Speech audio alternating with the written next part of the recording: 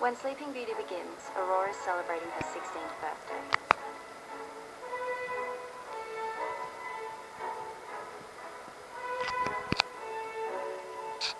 By the time the curtain falls, she's fallen in love with a prince, been bewitched by an evil fairy, and woken again by the prince's kiss.